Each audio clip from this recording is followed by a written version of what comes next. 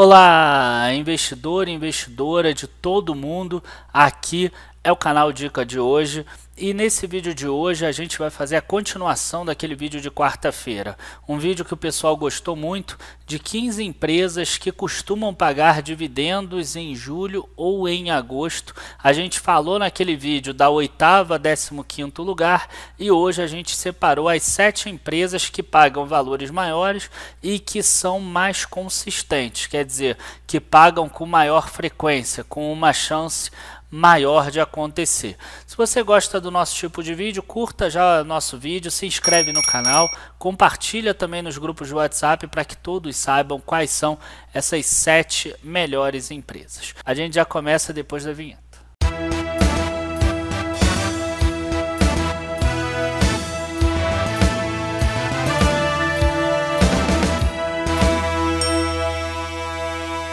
Bom, antes da gente começar, eu quero lembrar vocês que hoje, segunda-feira, está iniciando o mês e a gente renovou as nossas carteiras lá na área de membros. Tem carteiras calculadas que são renovadas todos os meses exatamente para os nossos novos assinantes e pessoas que têm um novo capital para investir possam ter sempre carteiras disponibilizadas com pontos de compra na melhor forma possível.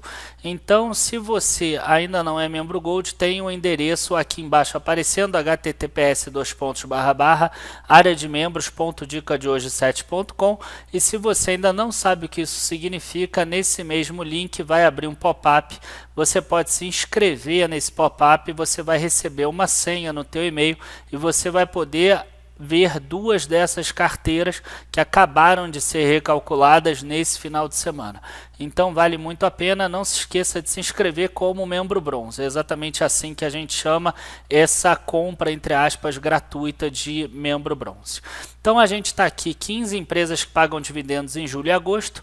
Lembrando que as de oitavo a décimo quinto a gente já falou e tá o link aqui na descrição da, do primeiro vídeo. Então hoje a gente vai falar da primeira a sétimo lugar.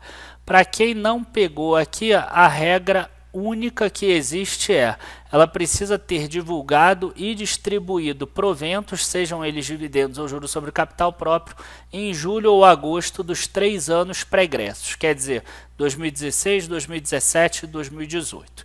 Então vamos agora para o sétimo lugar. E o sétimo lugar aqui é algo meio estranho, mas é a Gerdau. Tá? A Gerdau é uma empresa que ficou algum tempo sem pagar dividendos, inclusive, mas nos últimos três anos já conseguiu pagar. A questão é que o lucro da empresa tem subido, então eu acredito que vai vir um número mais próximo do de 2018 do que esses aqui próximos a 2016 e 2017. Tá? Então a gente vê que é no final de agosto só que ela divulga, então às vezes dá tempo da pessoa comprar um daqueles que a gente já falou é, e ainda comprar essa aqui de novo, né? É, porque é só lá no final. A gente vê aqui um yield de 0,90% que apareceu ali rapidinho e é uma empresa cíclica. O que, que acontece? É mais difícil prever o resultado e o provento. Tá? Mesmo que venha aí 0,10, 0,11 ou 0,9, já é maior do que aqueles que a gente estava falando lá atrás. E eu lembro também que eu falei no outro vídeo. Como a gente está pegando apenas dois meses e a gente, se a gente comparar, por exemplo, com a poupança que paga 0,40 ao mês, por exemplo, a gente está falando de é, 0,80 em dois meses, quer dizer, 0,80% em dois meses seria o suficiente aqui para se uma ação subisse 10 centavos ou 15 centavos, já seria suficiente para você ganhar além de uma renda fixa, por exemplo, tá? Então a gente colocou aqui Gerdau em sétimo lugar, talvez seja aquela empresa que o pessoal mais vai achar estranho, que mais vai comentar. Aí a gente vem para o sexto lugar, a gente está falando de Tupi, outra empresa que é cíclica também, mas que costuma pagar exatamente nessa época. Tá? Então 2016 ela pagou no dia 10 de agosto, ela na verdade ficou ex no dia 10 de agosto, 0,30 centavos aqui, 2017 em 18 de agosto 34 centavos, 2018 13 de agosto 26 centavos, o yield de 1,3%. é um yield já um pouco mais alto do que o que a gente estava vendo. E aqui a gente já vai para o quinto lugar. A gente está falando de São Martinho. São Martinho é uma empresa agro. E as empresas agro normalmente elas têm o estatuto que começam do dia 1 de julho e terminam no dia 31 de junho. Então a São Martinho ela é dessa forma e ela faz apenas a distribuição uma vez por ano dos dividendos. E esse dividendo vem exatamente nessa época. Tá? O código dela SMTO3, uma empresa mais voltada até para milho e açúcar. A gente está falando aqui, ó, 29 do 7, 28 do 7, 27 do 7, a divulgação, a DataX. A gente está aqui com 0,49, 0,27, 0,51. No preço da ação atual, 2,5%. A ação hoje está em torno de 20 reais, 21 reais aí no máximo. Tá? E aqui, desde 2011, o pagamento anual de dividendos é feito no dia 15 de agosto. Quer dizer, ela fica com a data X mais ou menos no final de julho e ela paga exatamente nesse dia. Talvez seja a empresa com o período mais longínquo, com a data exatamente igual, 15 de agosto, sempre desde 2011. Tá? E aí a gente vem para o grupo Ultra, Ultrapar, uma empresa que normalmente ela sempre foi cara e com a queda atual ela não tá tão cara assim. A gente até falou dela recentemente em um vídeo que a gente comparou a Ultrapar com a BR Distribuidora. Código dela, o GPA3, é uma holding que detém o controle aí do posto Ipiranga e aqui eu já coloquei os valores depois do desdobramento. Ela acabou de fazer um desdobramento recente de 1 para 2. Cada ação virou duas ações. Então, 2016, 2017, 2018, mais ou menos no meio de agosto, que é a DataX, 0,40, 0,42, 0,28. O lucro desse ano está maior, ele está mais próximo de 2016 e 2017. Mesmo assim, se for o, a partir do lucro de 2018, o yield é de 1,3%. Se for mais próximo de 2016 e 2017, a gente está falando aqui em torno de 2% de yield. Tá? Dividendo semestral sempre é pago em março e em agosto, pelo menos nos últimos anos. E aí a gente vem para terceiro lugar que é Itaúsa. Itaúsa código ITSA 4. Tá? Em 2016 e 2017, o mesmo valor, 0,0790.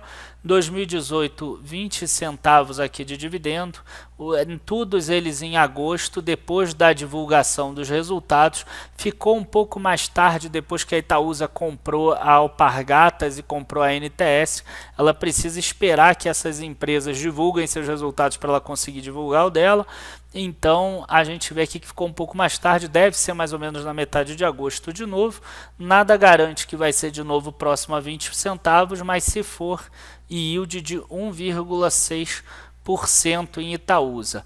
E outra coisa interessante também é que ela fez duas bonificações aqui nesses valores. Então, na verdade, esses 7,9 centavos, se a gente incluísse as bonificações, seria maior esse valor. E aí a gente vem para as duas que são as maiores pagadoras de dividendo desse período.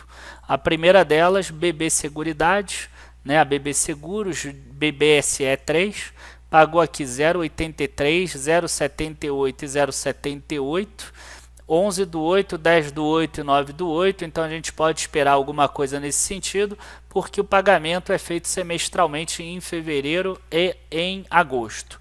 E yield de 2,5% em relação ao valor atual.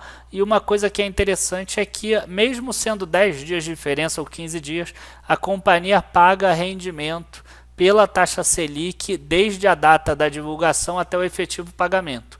Então, se ela divulgar e a data X for 11 de agosto, ela pagar dia 25 de agosto, esses 14 dias você recebe o rendimento pela taxa Selic também, além do valor que for divulgado. Isso é interessante. Poucas empresas fazem isso. A Petrobras fez isso recentemente. Eu acredito que a Eletrobras faça também, mas são poucas as empresas que fazem essa correção do valor. Tá? E aí a gente vem para Taesa, que é a primeiro lugar, pelo menos desse período, na minha visão. A gente vê TAE 11 aqui, e 2016, 2017, 2018 próximos à metade de agosto, a gente vê que 2017 teve um dividendo muito menor, 20 centavos. Isso é explicado por causa disso aqui. A inflação influencia no lucro da empresa, que influencia na distribuição. Então, o IGPM e o IPCA mais altos facilitam um dividendo maior. Enquanto isso, nesse período de 2017, estava inclusive com uma deflação de IGPM. Foi por isso que ela distribuiu tão pouco. Provavelmente, com a inflação mais alta, deve ficar um número mais próximo do de 2018. Então, yield de 1,8% aqui na Taesa. Vou te dizer que foi difícil a gente determinar quem ia ser o primeiro, quem ia ser o segundo, mas acho que ficou bom aqui. Acho que o que importa é que as pessoas vejam aqui quais são as sete maiores, quase todas elas com valores acima de 1% em dois meses de distribuição. Enfim, pessoal, não deixem de olhar lá a nossa área de membros, https dois pontos barra barra área de membros ponto dica de hoje 7.com. Uma das carteiras calculadas é exatamente a de dividendos. A gente se baseia no yield para fazer essa carteira, que é calculada a partir de indicadores, muito baseada também no livro lá do Décio Bazin. Então a gente tem lá todas as opções para diversos tipos de investidores, desde aquele que quer investir em turnarounds até aquele que quer investir da forma mais conservadora possível, Graham e dividendos, por exemplo. Espero que vocês tenham gostado desse vídeo. Não se esqueçam de curtir aqui embaixo, se inscrever no canal, avisar os amigos também, colocar nos grupos de WhatsApp, de Telegram, para que todos possam ver essas 15 empresas, somando os dois vídeos, que pagam dividendos regularmente em julho e em agosto. Obrigado a todos, abraços e bons investimentos. Tchau, tchau.